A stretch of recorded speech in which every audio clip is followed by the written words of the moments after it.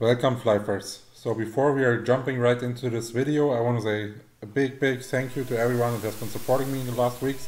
We did manage to pass the 300 subscriber mark, which is amazing.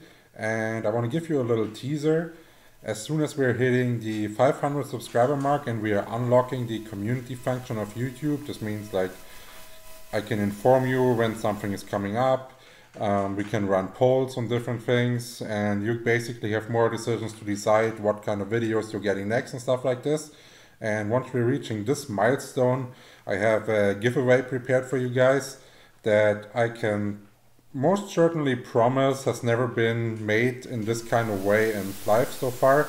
And I've never seen it in other games as well. So it's going to be really unique and fun. So you should definitely keep your eyes open for this one. So let's jump right into the video.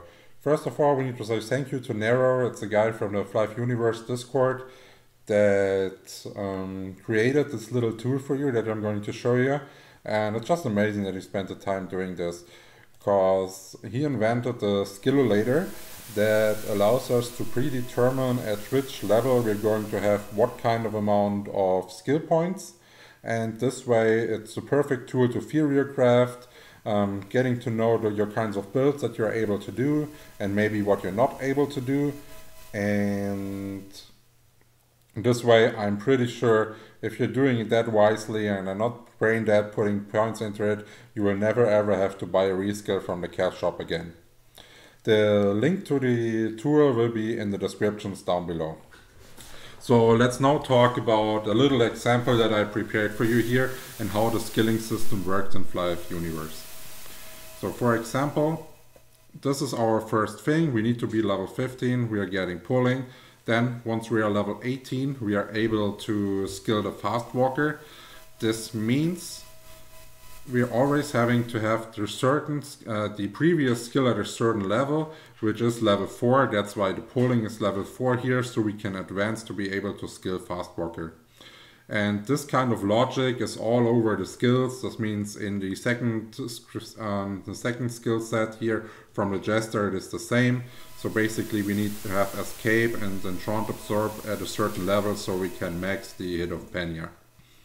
The reason why we are taking a look at this specific option here is that a lot of times you will use um, you will level with a jester with until level 75 as a bow jester and then at level 75 you will use your free reskill to go into the yo-yo mode once you have the historic yo-yo and the critical swing available. That's why I put like a decent uh, the all the important PvE skills that you need um, on max. Those are like the um, yo-yo mastery, the perfect block, the deadly swing, the enchant poison, the critical swing, and the hit of Penya. But of course we are still having 110 points left. For PvE there's not a lot that we can add here, but for PvP for example we can look what's going to be the best build and theory craft a little. Um, for using the um, the skillulator, you will always have the level right here that you can put and you will see the available skill points that you have left on this part here. When you're trying to um, change a class, on the top row, always press the reset button once so you're sure you're having the right amount of points. But overall it's looking pretty solid, it only has a few bugs that um, are not really worth mentioning. Since the API update is going to come then the kind of the way the skill trees look will adjust a little, but overall a really solid tool. And now let's take a look how we can spend the last 110 available points wisely.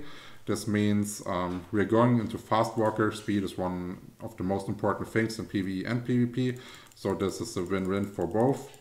Then Dark Illusion being invisible, of course, is giga good. And we definitely need to get um, counter attack going. This means we need to put 10 points into crossline. Crossline is a skill that you can put into the action slot and getting stunts going. So it's valuable for um, like gigging and um, what's it called, um, getting a CC lock going in PvP. And counter attack only needs to have one point just so we can cast it to maybe outplay a build poster or something like this. And then another good skill that will give us additional um, additional CC is the sneak step.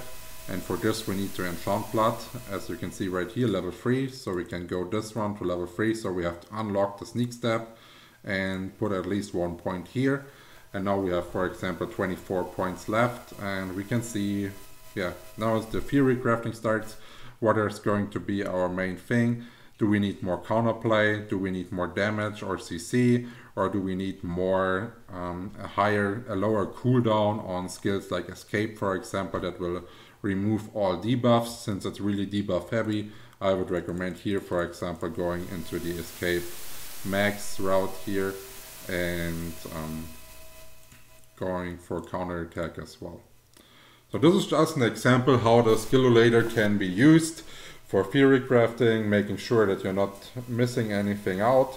And what, what is also pretty neat, um, you will always see the different, um, what's it called, the different options, what the skills are actually doing. So they have a skill description. What is currently missing is the scaling for the different skills so you can't see yet which um, kind of values you're getting when you're putting it from level 10 to level 11 for example but I'm sure this will come so it's just the minor thing.